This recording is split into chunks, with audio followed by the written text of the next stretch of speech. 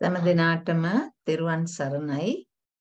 අද වර්ෂ 2022 දෙසැම්බර් මාසයේ දෙවනි දෙවනිදා ශ්‍රී ලංකාවේ වෙලාවෙන් පාන්දර 12 මාරට පවත්වන බුද්ධානුස්සති භාවනාවට සම්බන්ධ වීමටයි අප සූදානම් වන්නේ. ඒ සඳහා ධම් සභාවට පැමිණි ඔබ සෑම සියලුම දෙනා ඉතා ගෞරවයෙන් පිළිගන්නවා. අපි සුපුරුදු පරිදි ධම්මපද යට අයත් ගාථා රත්නයක් සාකච්ඡාව සඳහා ගන්න අවස්ථාවයි. දැන් පළමුවෙන් අපි ඒ ගාථා රත්නයට සවන් දෙමු. අද දවසේත් අපිට කරන්න තියෙන්නේ බාල වර්ගයේ 8 වෙනි ගාථා රත්නය මුදල් පොදියක් සම්බන්ධව තියෙන කතාවක්. අපි දැන් මේ ගාථා රත්නයට සවන් දෙමු. නතං කම්මං කතං සාධු යං කତ୍වා අනුතප්පති යස්ස අස්සු මුඛෝරෝදං විපාකං පටිසේවති නත්තං කම්මං කතං සාධු। යං කତ୍වා අනුතප්පති। යස්ස අස්සු මුඛෝ රෝදං විපාකං පටිසේවති। යම් කර්මයක් කොට සිහි කළ කෙනෙහි තැවේද? යම් කර්මයකගේ අනිෂ්ට විපාකය කඳුළු වැක්කුණ මුහු නැතිව හඬමින් අනුභව කෙරේද? එබඳු අකුසල්කම් කිරීම නොමැනවි. ඒ ගාථාව සම්බන්ධයෙන් අපි තියෙන කතා ප්‍රවෘත්තියට සවන් දෙමු. භාග්‍යවත් වූ බුදුරජාණන් වහන්සේ සවැත් නුවර වැඩ වාසය කරන කාලයේ සිදුවුණු කතා ප්‍රවෘත්තියක්. එක්තරා ගොවියෙක් සවැත් නුවර අසල කුඹුරක් සාමින් සිටියා. ඒ දවසේ ඊට පෙරදා රාත්‍රියේ සොරුන් කණ්ඩායමක් ඒ දියසොරව්වකින් නුවර ඇතුළට ගිහිල්ලා ධනවතෙකුගේ ගේකට රිංගුවා උමගක් හදාගෙන. එයින් ගෙට ඇතුල් වෙලා ගෙයි තිබුණු බඩු පොදි පොදි බැඳගෙන ආපහු ඇවිල්ලා ඒ කුඹුර අසල බිම තියලා ඒවා රන් රිදී මුතුමැණික් ආදී වටිනා වස්තු ඒවා පොදි බැඳගෙන ඒ දියසොරව්වෙන්ම පැනලා නික්මිලා ගියා. ඒ අතර සිටපු එක හොරෙක් අනිත් තොරුන්ට නොදැනෙන්න පසුම්බියක් වෙනම දහසක් බැඳි පොට්ටනියක් කියලා තියෙනවා වෙනම ඔඩොක්කුවේ දාගත්තා. ඔඩොක්කුවේ දාගෙන හැමෝම එක්ක පිටත් වෙලා ගියා. මේ මිනිස්යාගේ ඒ මුදල් පොදිය එහෙම නැත්නම් ඒ බඩු පොදිය ඔඩොක්කුවෙන් වැටිලා. එයා දන්නේ නැහැ. එයත් ගියා. ඉතින් දැන් බඩු පොදිය තියෙනවා හොරු ටික ගිහිල්ලා. මේ උදේ එළි වෙනකොට ඒ බඩු බඩු සොයලා ඇවිදිනවා. දැන් මේ මිනිස්සුන්ගේ අඩිපාරවල් බලාගෙන ඒ බඩු අයිතිකාරයෝ ඒ අඩිපාරවල් දිගේ ඇවිල්ලා ඒ ගොවියව දැකලා ඒ ගොවියා බඩු අයිතිකාරයොත් ඒ සොරුන් අඩිපාරේ ගියා ගිහිල්ලා ඒ පොදිය දැක්කා. දැකලා දැන් එතෙන්ට ගියේ අඩිපාර මේ ගොවියාගෙන ඒක නිසා මේ ගොවියා තමයි හොරා කියලා හිතාගෙන අල්ලගෙන ගහන්න ගත්තා. ඒ ඒ වෙලාවේ භාග්‍යවත් වූ බුදුරජාණන් වහන්සේ මහා කරුණා සමාපත්තියට සමවැදිලා ලෝකය බලන වෙලාවක් ඒ වෙලාවේදී දැන් උන්වහන්සේගේ බුදුනෙතට දැනගන්න ලැබුණා අසුණා මේ ගොවියා සෝවාන් වෙන්න තරම් වාසනාවක් තියෙන නිර්දෝෂී කෙනෙක් බව. එහෙම දැනගෙන උන්වහන්සේ ආනන්ද ස්වාමීන් වහන්සේ සමග ඒ ගොවියා සිටපු ඒ කුඹුරට ගියා. ගොවියත් සීසාන්න ගියා. මේ බුදුරජාණන් වහන්සේත් එතෙන්ට වැඩියා. ඒ වෙලාවේ බුදුරජාණන් වහන්සේ ගොවියා ගොවියා දැක් ගොවියා බුදුරජාණන් වහන්සේ සහ ආනන්ද ස්වාමීන් වහන්සේ දැකලා ඇවිල්ලා වැඳලා බුදුරජාන් වහන්සේටත් ආනන්ද ස්වාමීන් වහන්සේටත් වැඳලා නැවත සීසාන්න පටන් ගත්තා. ඒ වෙලාවේ බුදුරජාණන් වහන්සේ අර මුදල් පොදිය වැටී තිබුණු ආසන්නයට ගිහිල්ලා ආනන්ද ස්වාමීන් වහන්සේට කිව්වා ආනන්ද සර්පෙක් කියලා වදාලා. ඒ වෙලාවේ ආනන්ද ස්තවයන් වහන්සේත් එසේය ස්වාමීනි දකිමි ගෝර විස ඇති සර්පෙක් කියලා කිව්වා. ගොවියා ඒ කතාව අහගෙන හිටියා. අහගෙන ඉඳලා මේ වෙලාවෙත් අවේලාවෙත් හැසිරෙන මේ තැන මම නිතරම හැසිරෙන මේ තැන සර්පෙක් ඉන්නවා කියලා කිව්ව නේද කියලා හිතලා බුදුරජාණන් වහන්සේ වැඩියට පස්සේ එතනට කෙවිතක් කෝටුවකුත් අරගෙන ගියා යනකොට මුදල් පොදිය දැක්කා. දැකලා හිතුවා බුදුරජාණන් වහන්සේ වදාළේ මේ ගැනයි කියලා හිතාගෙන එතන කල්පනා කරන්න වුණා. අන්න ඒ වෙලාවේ අර බඩු හොය හොයා ගිය බව දැනගත්තු ගිහිමියෝ ඒ අඩිපාරේ ගිහිල්ලා කුමුර ළඟට ආවා. ඇවිල්ලා ඒ සොරු බඩු බෙදපු තැන දැක්ක දැකලා ගොවියාගේ පාසටහන් දැක්ක මුදල් පොදිය තිබුණු තැනට පැමිණුණා. පැමිණිලා දැන් මේගොල්ලෝ දැනගත්තා මෙයා තමයි මේ මුදල් ගන්න ඇත්තේ කියලා හිතලා මේ අපේ ගේ කඩලා අපහැරගෙන ඇවිල්ලා මෙතන සීසානවා වගේ බොරුවට ඉන්නවා කියලා මේ මිනිස්සයා වල්ලලා ගහ ගහ රජතුමා ළඟට එක්කගෙන ගියා. රජතුමා තොරතුරු විස්තර ඇහුවා අහලා ඔහුව මරා දාන්න කියලා නියම කරා. ඒ රාජපුරුෂයෝ කරේ බැඳලා අසවලින් තලතල දැන් පෝරකය වෙත ගෙනියනවා. ඒ ගෙනියන පාරේදී ඒ මිනිස්සයා දිගටම කිය කිය යනවා. ආනන්දය බලන්න සර්පෙක්. එසේය ස්වාමීනි දකිමි. ගෝර විස ඇති සර්පෙක්. මෙන්න මේ විදිහට වාක්‍ය කිය කියා දිගටම යනවා. යනකොට රාජපුරුෂයෝ හිතුවා මේ මිනිහා බුදුසේගෙත් ආනන්ද තෙරුන් වහන්සේගෙත් කරපු කතාවක් කියනවා මේක මොකද්ද කියලා ඇහුවා. ඇහුවාම ගොවියන්ට තමයි ඒක කියන්නේ කියලා. එහෙම කිව්වහම මේ රාජපුරුෂයෝ නැවත වතාවක් ඒ රාජ රජතුමා ළඟට අරගෙන ගියා මේ ගොවියව. අරගෙන ගියාම රජතුමා ඇහුවා කුමක් නිසාද මේ විදිහට කියන්නේ කියලා. කිව්වම කිව්වා දේවයන් වහන්සේ මම හොරෙක් නෙමෙයි. සීසාන්න ගිය වෙලේ ඉඳලා ඒ වෙච්ච සියලුම තොරතුරු රජතුමාට කිව්වා. රජතුමා මේ කතාව අහලා විශ්වාස කරේ නැහැ. මේ බුදුරජාණන් වහන්සේ සාක්කියට අරගෙන මෙයා කතා කරනවා ඒක මේ ඒක නිසා වදයට පමුණවන්න හොඳ නැහැ. මේ ගැන හොයලා බලනවා කියලා ඔහුත් සමග හවස් වෙලේ බුදුරජාණන් වහන්සේ වෙත ගිහිල්ලා ඇහුවා ස්වාමින් භාග්‍යතුන් වහන්සේ ස්වාමිනී භාග්‍යතුන් වහන්සේ මේ මේ කතාවක් කියනවා එහෙම දෙයක් වුණාද කියලා. එතකොට ඒ කියන්නේ විස්තරය ඇහුවා. බුදු භාග්‍යතුන් වහන්සේ ඔබ වහන්සේ මේ මේ මේ ආනන්ද ස්වාමීන් වහන්සේ සමග ගොවියා සීසාන තැනට වැඩියද කිව්වම එසේ මම ගියෙමි කියලා බුදුරජාණන් වහන්සේ වදාලා ඒ වෙලාවේ ඇහුවා එහිදී කිසිවක් දක්නාලද කියලා. කිව්වා මහරජ දහසක මුදල් පොදියක් දැක්කා කියලා උන්වහන්සේ වදාලා. ඊට පස්සේ රජ්ජුරෝ ඇහුවා භාග්‍යතුන් වහන්සේ කුමක් වදාළසේක්ද ඒක දැකලා. ඊට පස්සේ කිව්වා මම මෙසේ කීවෙමි කියලා සර්පෙක් දුටිමි කිව්වා ආනන්ද ස්වාමීන් වහන්සේ මෙහෙම කිව්වා කියලා කිව්වා. ඉතින් ඒ ඒ ගැන දැන් ඒ මිනිස්සයා කියපු දේ ඇත්ත කියලා දැනගත්තා. ඒ මිනිස්සයා නිර්දෝෂී කියලා දැනගත්තා. ඒ මිනිස්සයාව නිදහස් කරා. නිදහස් කළා කියලා භාග්‍යතුන් වහන්සේට රජුරෝ කිව්වා. ඊට පස්සේ බුදුරජාණන් වහන්සේ අන්නේ අවස්ථාවේ තමයි මේ කිව්වේ මහරජ එසේය මමත් ඔය ටික සිතා ගියෙමි. නුවණැත්තෙක් විසින් යමක් කොට නැවත ඒ ගැන පසුතැවිලි වේ නම් එබඳු දේ කිරීම නුසුදුසුය. එබඳු දේ නොකළ යුතුයයි වදාරා අනුසන්දි ගලපා මේ ධර්ම දේශනාව කළසේක කියලා කියනවා. ඒ කියන්නේ නුවණැත්තා විසින් ඒ යමක් කරලා ඒ දේ ගැන නැවත පසුතැවිලි වෙනවා නම් ඒ වගේ වැරදි වැඩ කරන්න එපා කියන අදහස තමයි. නතං කම්මං කතං සාධු යං කତ୍වා අනුතප්පති. යස්ස අස්සු මුකෝ රෝදං විපාකං පටිසේවති.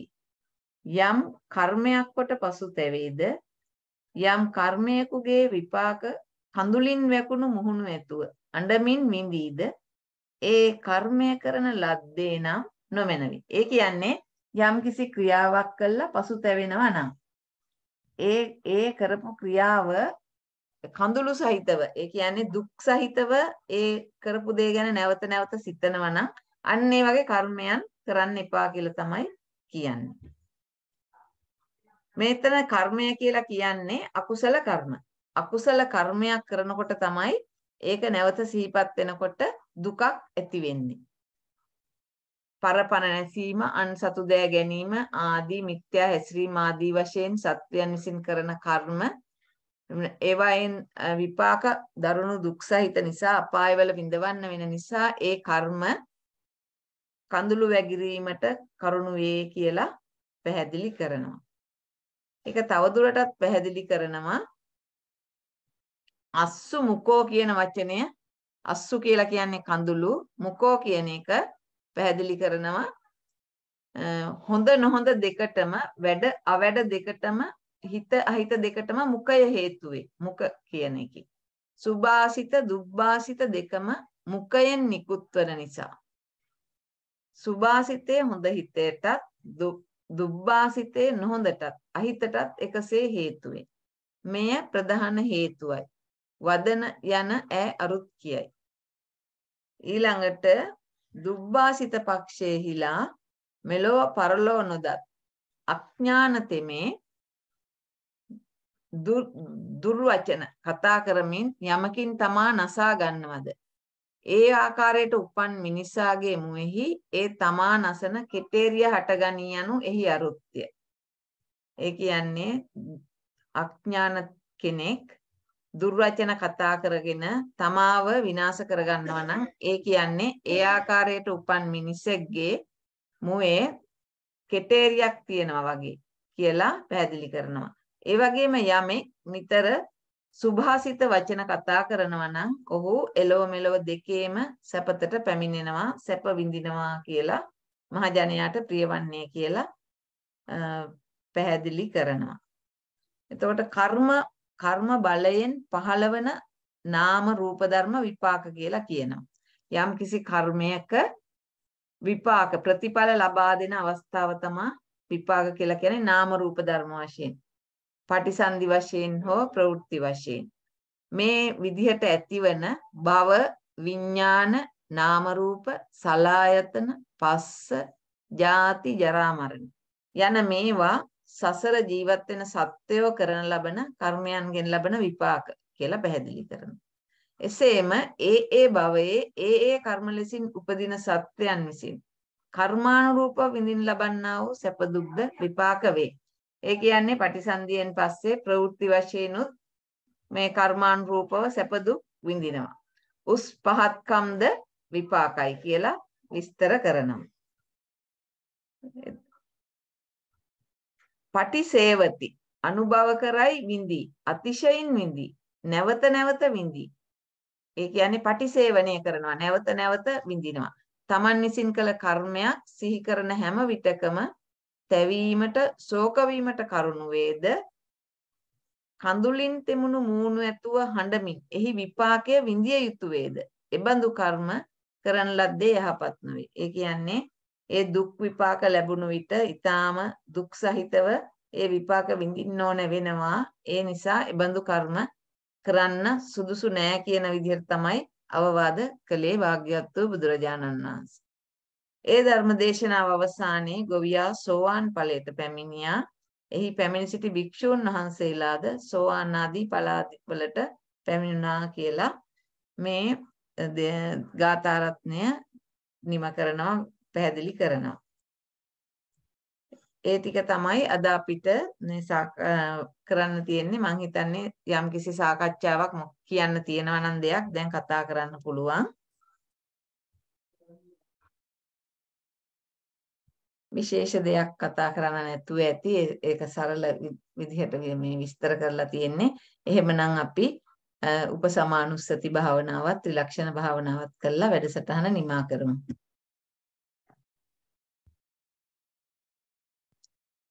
උපසමානුස්සති භාවනාව කරමු පළමු කොටම උපසමානුස්සතිය නිර්වාණය නම් කුමක්ද? යාවතා වික්කවේ ධම්මා සංකතාවා අසංකතාවා විරාගෝ තේසං අග්ගමක්ඛායති. යදිදං මදනින් මදනෝ පිපාස විනයෝ ආලය සමුග්ඝාතෝ වට්ටු පච්ඡේදෝ තණ්හක්කයෝ විරාගෝ නිරෝධෝ නිබ්බාන. මහණෙනි හේතුවෙන් නිපන්නා වූ හෝ හේතුවෙන් නොනිපන්නා වූ හෝ යම්තාක් ධර්මයෝ ඇත්තාහුද ඒ ධර්මයන් අතුරින් විරාගය හෙවත් නිවන අග්‍රයයි කියනු ලැබේ. ඒ වනාහි රාගාදී මද මැඩලන තෘෂ්ණා සංඛ්‍යාත පිපාස සංසිද්ධුවන පංචකාම ගුණාලය නසන වට්ට දුක් සිඳලන තෘෂ්ණා ක්ෂය කරන පහ වූ රාග ඇති නිරෝධ සංඛ්‍යාත නිර්වාණයයි භාවනා වාක්‍ය සංකත අසංකත සියලු ධර්මයන් අතුරෙන් විරාගය හෙවත් නොඇලීම නම් වූ නිර්වාණය අග්‍රයයි භාග්‍යවතුන් වහන්සේ වදාළසේක. මිනිසාට මහත් අනර්ථ සිදු කරවන්නා වූ ජාත්‍යාදී අටවිසි මදයෝ නිවනට පැමිණි විට වෙනසී යන්නාහ. එබැවින් නිර්වාණ ධර්මය තෙමේ මදනින් මදන නම් වනසේක. භාග්‍යවතුන් වහන්සේ විසින් වදාළ නිර්වාණ ධර්මය තෙමේ පංචකාම ගුණාලය වෙනසීමට කාරණා වන බැවින් ආලය සමුග්ඝාත නම් වනසේක. භාග්‍යවතුන් වහන්සේ විසින් වදාරන ලද නිර්වාණ ධර්ම තෙමේ සතර අපාය සහිත කාම රූප අරූප යන භවත්‍රයට අයත් කර්ම ක්ලේශ විපාක යන වට්ට තුන සිඳලන බැවින් වට්ටු පච්ඡේද නම් වනසේක. භාග්‍යවතුන් වහන්සේ විසින් වදාරන ලද නිර්වාණ ධර්මතෙමේ තෘෂ්ණාදී සකල ක්ලේශයන් නිරුද්ධ කිරීමට කාරණ වන බැවින් නිරෝධ නම් වනසේක. භාග්‍යවතුන් වහන්සේ විසින් වදාරන ලද නිර්වාණ ධර්මතෙමේ රූප, ශබ්ද ආදී නානා අරමුණෙහි ඇලෙන ස්වභාවය වූ රාගය වෙනසීමට කාරණ වන බැවින් විරාග නම් වනසේක. භාග්‍යවතුන් වහන්සේ විසින් වදාරන ලද නිර්වාණ ධර්මතෙමේ හේතුයෙන් ප්‍රත්‍යයෙන් නොනිපන් බැවින් අසංකත නම් වනසේක. භාග්‍යවතුන් වහන්සේ විසින් අග්‍රයයි වදාරන ලද අසංකත ධර්ම තෙමේ සතර යෝනි පංචගති සප්ත විඥානස්ථಿತಿ නව සත්තාවාස යන ජරා මරණාදී දුකින් පිරුණු මතු මතු භවයන්හි සත්වයා බැඳ තබන අර්ථයෙන් වාන නම් වූ තෘෂ්ණාවෙන් නික්මුණු බැවින් නිර්වාණ නම් වනසේක. නිබ්බාණං පරමං සුඛං සාදු සාදු සාදු අප රැස් කරගත්තා වූ කුසල සම්භාරය ත්‍රිලක්ෂණයට හරවමු.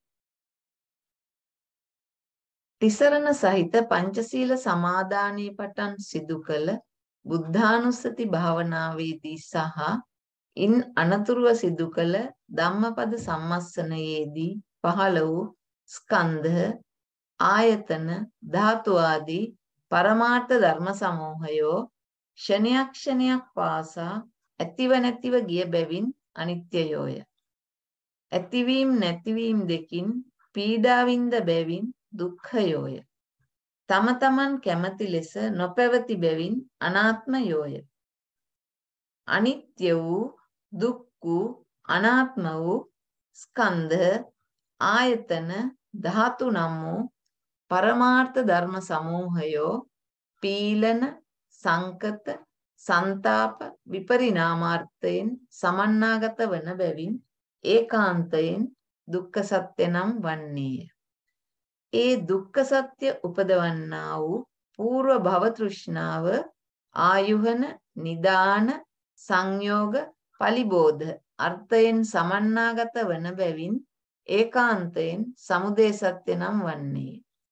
දුක්ඛයේත් සමුදයේත් නොපැවැත්ම නම් වූ නිර්වාණ ධාතුව විවේක නිස්සරණ අසංකත අමත අර්ථයෙන් සමන්නාගත වන බැවින් ඒකාන්තයෙන් නිරෝධ සත්‍ය නම් වන්නේ දුක පිරිසිඳ දකින්නා වූද සමුදය ප්‍රහාණය කරන්නා වූද නිරෝධය සාක්ෂාත් කරන්නා වූද ආර්ය අෂ්ටාංගික මාර්ගය නීයාන හේතු දස්සන අධිපති අර්ථයෙන් සමන්නාගත වන බැවින් ඒකාන්තයෙන් මාර්ග සත්‍ය නම් වන්නේය.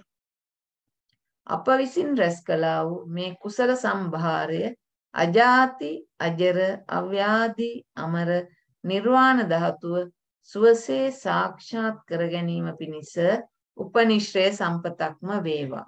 සාදු සාදු සාදු. අද දවසේ අප රැස් කළා වූ කුසල සම්භාරය අපි අපගේ ගුරුතුමන් වහන්සේලාටත් සියලු දෙවියන් වහන්සේලාටත් අනුමෝදන් කරමු.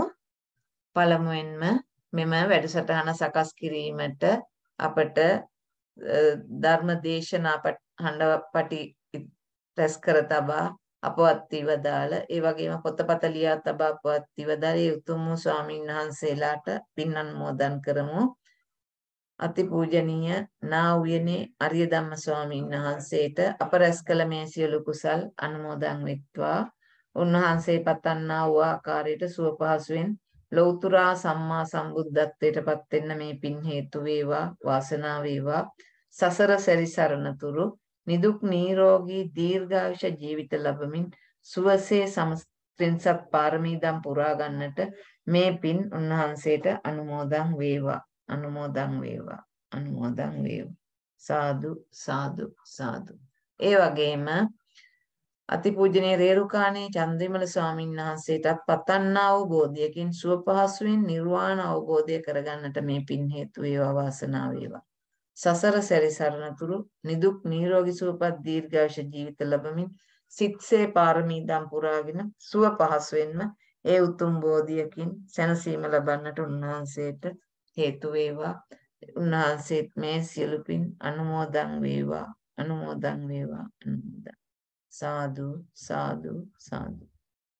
ඒ වගේම මෛත්‍රී මහා බෝසතාණන් වහන්සේ ප්‍රධාන සියලුම බුදුපසේ බුදු මහා බෝසතාණන් වහන්සේලාට ආර්ය බ්‍රහ්මරාජීන් වහන්සේලාට ආර්ය දිව්‍යරාජීන් වහන්සේලාටත් මේ පින් අනුමෝදන් කරමු. ආකාසට්ටා ච බුම්මට්ටා දේවානාගා මහිද්దికා පුඤ්ඤන්තං අනුමෝදිත්වා. චිරං රක්ඛන්තු සම්බුද්ධ ශාසනං ආකාසට්ටා ච බුම්මට්ටා දේවානාගා මහිද්దికා පුඤ්ඤන්තං අනුමෝදිත්වා චිරං රක්ඛන්තු සම්බුද්ධ දේශනං ආකාසට්ටා ච බුම්මට්ටා දේවානාගා මහිද්దికා පුඤ්ඤන්තං අනුමෝදිත්වා චිරං රක්ඛන්තු සම්බුද්ධ ශාවකේ චිරං රක්ඛන්තු ත්වං සදා පරලෝසපත් සියලු ඥාතීන්ට අනුමෝදන් කරමු. ඉමිනා පුඤ්ඤ ඉදං මේ ඥාතිනං හෝතු සුඛිතා හොන්තු ඥාතයෝ. ඉදං මේ ඥාතිනං හෝතු සුඛිතා හොන්තු ඥාතයෝ. ඉදං මේ ඥාතිනං හෝතු සුඛිතා හොන්තු ඥාතයෝ. සමවෙන්න. අප රැස් කරගත් සියලු කුසල් අපි මෙසේ ප්‍රාර්ථනා කරමු. ඒ කුසල් බලෙන් අපට මේ ආකාර අනිසංස ලැබේවා. ඉමිනා පුඤ්ඤ කම්මේන මාමේ බාල සමාගමෝ සතං සමාගමෝ හෝතු යාව නිබ්බාන පත්තියා. ඉදං මේ පුඤ්ඤ කම්මං ආසවක්ඛයාවහං හෝතු සබ්බ දුක්ඛා පමුජ්ජතු. සාදු සාදු සාදු. අද දවසේ අපට මෙම වැඩසටහන ඔබට සම්පාදනය කර දෙන්නට උපකාර කර ජයන්ත රත්නායක මහත්මයාටත් තුසිත රාජපක්ෂ මහත්මයාටත් ඖෂධී රත්නසේකර මහත්මියටත් කුමුදුනේ ලියනගේ මහත්මියටත් අපි ඉතාම කෘතවේදීව පුණ්‍යානුමෝදනා කරනවා.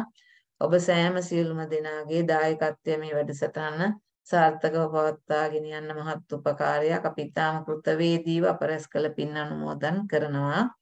ඔබ සෑම සියලුම දෙනාම මෙලෝ වශයෙන් නිදුක් නිරෝගී සුවපත් දීර්ඝාෂ ජීවිත ලබත්වා කරගෙන යන්න අවසාසනික කටයුතු බාධා වලින් තොරව බොහෝ කාලයක් කරගෙන යන්න අවශ්‍ය නිදුක් නිරෝගී දීර්ඝාෂ භාවයත් හේතු සම්පත්තියත් සැලසේවා පතන උතුම් බෝධි වලින් සුව පහසුවෙන්ම චතුරාර්ය සත්‍ය අවබෝධ කරත්වා.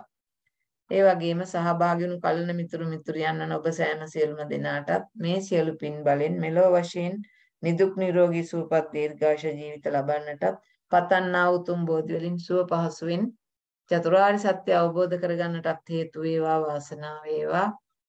ඒ වගේම කරන කියන ශාසනික කටයුතු තමන්ගේ సంతානයන්හි දියුණු කරගත යුතු ගුණ දහම් වඩා ගන්නටත් අවශ්‍ය ධෛර්ය ශක්තිය වීරිය ප්‍රඥාව නිරන්තරයෙන්ම වර්ධනය වේවා බාධක කරදර දුරු වේවා සසර සැරිසරන තුරු ත්‍රි හේතුක ප්‍රතිසන්දිකව නිදුක් නිරෝගී සුවපත් දීර්ඝායුෂ ජීවිත ලැබමින් නිර්මල සද්ධර්ම රත්නය ශ්‍රවණය කරමින් සත්පුරුෂයන් ආශ්‍රය කරමින් පුණ්‍ය භූමිය වල සුගතිගාමි වෙන්න මේ පින් හේතු වේවා වාසනාව වේවා.